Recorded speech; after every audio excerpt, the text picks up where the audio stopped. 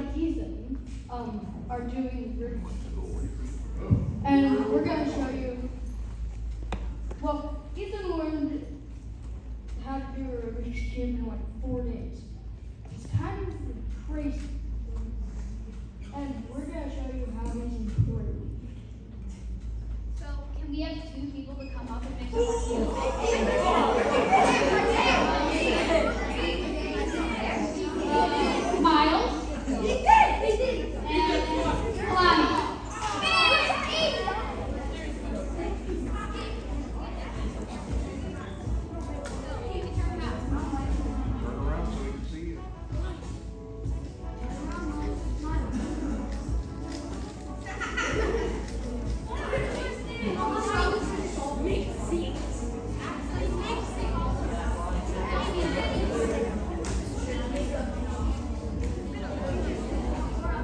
Come on, Lisa.